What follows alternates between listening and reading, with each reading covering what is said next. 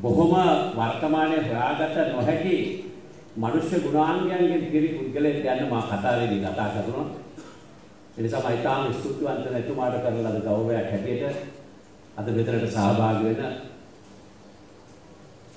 සියලුම තානාපතිවරුන් එම තානාපති ආය අනුශ නියෝජනය කරන පැමිණ සියලුම නිලධාරී නිලධාරී ඒ වගේම මාණ්ඩලික ප්‍රධානී ත්‍රිවිධ හමුදා නිලධාරී පොලිස් නිලධාරීන් සහ සියලුම ආරාධිත අමුත්තන් එස්ෝල් ලංකා පුද්ගලික සමාගම කියන්නේ සාමාන්‍යයෙන් අනිත් ආයතන වගේ තවත් වාණිජ ආයතනයක් නෙමෙයි. වාණිජ ආයතනයක් කියලා ගත්තම ඊටාම පැහැදිලි වාණිජ ආයතනයේ මුඛ්‍ය පරමාර්ථය වෙන්නේ ලාභය කිරීම. එහෙනම් ලාභය උපයන ආයතනයකට මේ වගේ එක වැඩ කටයුතු වලට සහභාගී වීම අත්‍යවශ්‍ය නැහැ. අපේ හාමුදුරනේ අපි යම්කිසි භාණ්ඩයක් හඳුන්වා දෙන්නේ හුඟක් වෙලාවට ආධුනික සිද්ධාස්ථානයක් තුළ. පහුගිය අවසාන වැඩසටහන අපි කරේ ශ්‍රී දළදා වාණිකාරය. අපි උතුරේ සහ නැගෙනහිර ප්‍රදේශවල පන්සල් වලට අපේ ජල පොම්ප විශාල ප්‍රමාණයක් ලබා දෙමින් තමයි වැඩසටහන කරේ. රට රට පුරා තියෙන පන්සල් 125ක් මේ වෙනුවට ප්‍රතිසංස්කරණය කළා තියෙන උතුරු නැගෙනහිර සහ නොයෙකුත් දුෂ්කර පළාත්වල. ඒ වගේම තමයි අනෙකුත් සියලුම ආගම් වලට අපි ඊටාම සමීපව කටයුතු කරනවා. එහෙනම් වාණිජ්‍ය ආයතනයක් හැටියට අපි ඇයි මේ වගේ ආගමික ප්‍රවර්ධනය පරිසර ආරක්ෂාව රටේ සංස්කෘතිය ආරක්ෂා කර ගැනීම අපේ වැඩිහිටියන්ට ගරු කිරීම මෙවැනි දේවල්ට අපි ඇයි උත්සුක වෙන්නේ කාලය වැය කරන්නේ පළවෙනිම කියනවා නම් අපේ ස්වාමීන් වහන්සේ මා හිතනවා පෞද්ගලිකව මේ බෞද්ධකම නොරකපු තැන මනුස්සකම නැති වෙලා යනවා. මනුස්සකම නැති වෙච්ච තැනකදී වෙනත් ආගමක් අදහිමින් දෙන අයිතිය පවා නැතිවන්නට පුළුවන්. ඒ නිසා පොදුවේ ගත්තම සියලුම රටවාසීන් ශ්‍රී ලංකාව තුළ වෙසෙන සහ ලෝකයේ වෙසෙන අය මේ බුදුදහම සුරක්ෂා කරගත යුතුමයි. මේ බුදුදහම තුළින් දෙන පණිවිඩය නම් අහිංසාව, මෛත්‍රිය, කරුණාව, උපේක්ඛා. එහෙනම් මේ කරුණු කීපය සතර බ්‍රහ්ම විහරණ වලටයි. මවකගේ දරුවෙකුට පමණක් සීමා වෙන මේ ගුණාංග අතීතයේ අපේ සමාජයේ පුරාවටම හැම කෙනා කෙරෙහිම මෛත්‍රිය පතුරන කණ්ඩායමක් හිටියා.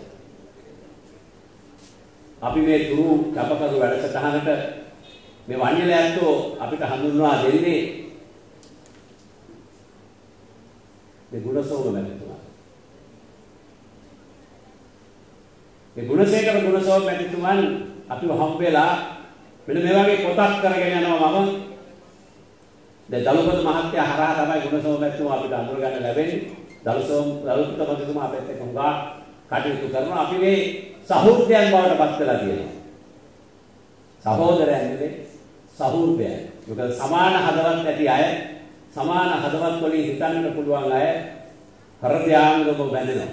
ඒ නිසා තමයි දලුපත මහතා අපිට හම්බුනේ. ඒ සම්මුඛ විපත් සමග තමයි අපිට ගුණසෝම ගුණසේකර මැතිතුමන් හම්බ වෙන්නේ.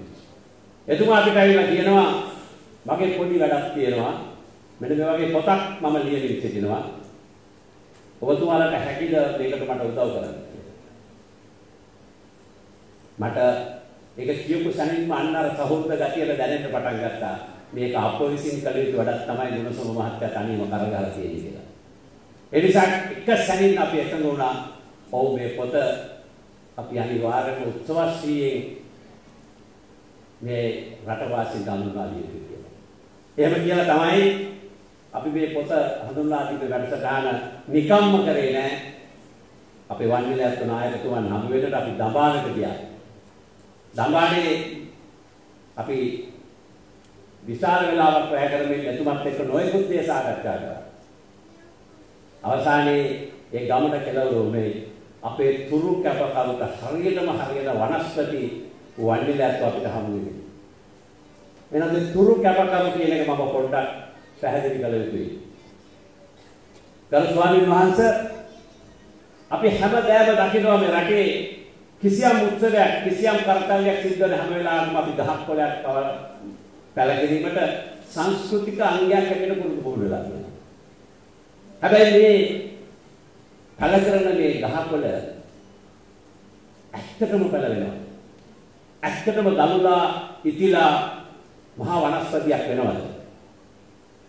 ඒ ගහ ගැන කවුද විස්තර හොයන්නේ ඊට පස්සේ? කිසිම වාර්තාවක් නැහැ. කිසිම විස්තරයක් නැහැ.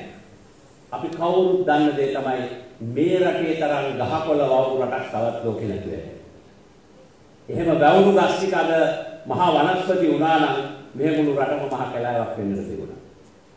හැබැයි ඒවා හුඟක් වෙලාවට ඊනියා ගහකොළ වැවීමේ ව්‍යාපෘති. එහෙමත් නැත්නම් කැමරාවේ ඉදිරියේදී වවපු ගස්කොළ. ඒවා කවදාවත් කවු කිසිම කෙනෙක් බාහිරකාරයෙක් වගකීමක් නැතුව හැදුණු ගස් නෙවෙයි. මේ ගැන හුඟක් කල් මම තනියම කල්පනා කරා කොහොමද එහෙමනම් මේ ගහකොළ හරියටම හදන ක්‍රමවේදයක් හිතන්නේ කියලා. යමින් යමින් ගමන් ගහකොළත් එක්ක පරිසරයත් එක්ක ආදරයෙන් කටයුතු කරන මට අදහසක් ආවා මේ කැපකරුවේ අපි හුඟක් වෙලාවට මේ කැපකරුව හොයනවා දරුවන්ට. මං හිතුවා මේ ගහකොළ කියන්නේ අපේ දරුවෝ වගේ. මේ කුඩා තල කියන්නේ අපේ දරුවෝ වගේ. මේවට ආරක්ෂා කරගන්න කැපකරුවේ පිටියොත් මේ ගහකොළ වැවෙනකන් ඒ බලා ගන්නට පුළුවන්. මෙහෙම තමයි මේ වස්තු බීජය තුරු කැපකරු වස්තු බීජය උපදින්නේ. එහෙම ඉපදිච්ච වස්තු බීජය තමයි මේ වෙනකොට කැපකරුවන් 18100ක් සහිත ගහකොළ අපි හදලා ඉවර කරලා තියෙනවා. එහෙනම් දැන් අපිට අවශ්‍යලා තියෙනවා අපේ මේ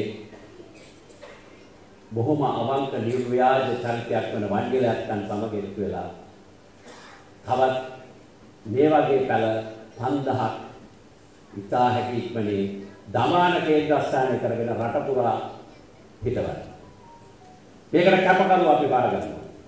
එතකොට පළවෙනි අදියරේ හැටියට අපි දමානේ ඒ වණිලාත්තන්ගේ ප්‍රදේශයේ කල හිටවනවා. හුඟක් වෙලාවට අපි වණිලාත්තන් තමග මේක සාකච්ඡා කරපුවම එතුමා කිව්වේ ඖෂධ ගස් තමයි මහත්වෝ අපි හිටවන්න ඕනේ. එහෙනම් අපි පළමුවෙන්ම ඖෂධ ගස් හිටවලා ඊට පස්සේ රටේ අවශ්‍යතාවයන් අනුව නොයෙකුත් ගහකොළ මේ රටේ ඉදිරි පරම්පරාවට දකින්නට පරිශීලනය කරන්න අත්විඳින්නට හැකි පමණින් පරිසරයක් ගොඩනගන්නට බලාපොරොත්තු වෙනවා. ඉතින් අපි මේ වන්නිලාත් හමු වුණාම හුඟක් සාකච්ඡා කරන අපිට දැනෙච්ච දෙයක් තමයි එතුමන් බොහොම අවංකයි. බොහොම නිර්ව්‍යාජයි. ඇත්තෙන්ම ආදිවාසීන් කියලා කිව්වම අපි හුඟක් වෙලාවට හිතනවා මේ අඩුවෙන් ඇඳුම් අඳින නිසා කෙටේරිය මන්නේ අතේ තියෙන නිසා දඩයන් කරන්නට පුරුදු වෙලා හිටිය නිසා දුනු ඊතල පාවිච්චි කරපු නිසා අපිද ශිෂ්ටාචාර ඔවුන්ද ශිෂ්ටාචාර කියලා. අපේ ගරු ස්වාමීන් වහන්සේ අපිට බොහොම පැහැදිලි වුණා. බොහොම ලැජ්ජා හිතුණා. ඇත්තෙම අපි එතුමන් ඉදිරියේ කූවියක් ගන්නටපත් වුණා. එතුමන්ගේ ශිෂ්ටත්වය ගැන කතා කරගෙන යනවා. එතුමන්ගේ සිල්වත් බව ගැන කතා කරගෙන යනවා. ගහක අත්තක් එතුමන් සහ එතුමන්ගේ කණ්ඩායම කපන්නේ ඖෂධ ගුණේ ඊටාම අවකම ගහක අත්තක් පමණයි Tamanගේ පරිහරණයට කපා ගන්න. සතෙක් සීපාවෙක් මරනකොට ගැබ්බර සතෙක් මහලු සතෙක් තරුණ සතෙක් කවදාවත් මැරෙන්නේ නැහැ. Taman ඉන්න ප්‍රදේශයවට ඉන්න සත්තු මැරුවේ නැහැ. අද වෙනකොට එතුමා පන්සිල් පද පහ අවංකවම රකින්න කෙනෙක්. මම හිතන්නේ අපිට ඊටාම කනගාටුවට කරුණක් තමයි වර්තමානයේ අපි පන්සිල් ගන්නේ ව්‍රතයක් හැටියට. අපි ව්‍රත රකින්න මිනිස්සු. හැබැයි අවබෝධයෙන් පන්සිල් ගන්න නිර්ව්‍යාජ කෙනෙක් මට හමුුනේ අපේ ස්වාමීන් වහන්සේ අපේ වංගිලා තුමා. කවදාවත් ජීවිතේට බොරුවක් නොකියපු කෙනෙක් මට හම්බෙලා තිබුණේ නැහැ නේද ඉස්සෙල්ලා. ව්‍යාපාර ලෝකේවත් අනුගානේ යම් යම් දේවල් සඳහා බොරු කියලා ඇයි. ඒ මෙතුමා කවදාවත් බොරුවක් කියන්නේ අර මට මතක් වුණා අපේ දරුපොත මහත්තයා කිව්ව කතාව මේ බහක් දෙනවයි කියලා. ඒ කියන්නේ අර පෞරුෂත්වයේ පුරාවට තියෙන වචන මාලාවක දැවැන්ත බව. අපේ පිළිත්වල තියෙන ස්වාමීන් වහන්සේ මා හිතන්නේ මේ දැවැන්ත බව. මේ වචනයක තියෙන බලය අපිට හොඳින් තේරෙනවා මෙතුමන් වචනයක් කිව්වොත් ඒ වචනේ පරිසමාර්ථාර්ථයෙන්ම තමන්ගේ පෞරුෂය තුළින් ඒ වචනේ ස්පෙસિෆික් කරනවා. අපි වචනයක් කියන්නේ බොහොම ආවට ගියා. එහෙනම් ශිෂ්ටත්වයේ අවසාන අධීරේ තමයි අපි වර්තමානයේ දියුණුවයි තියාගන්න අපි ඉන්නේ.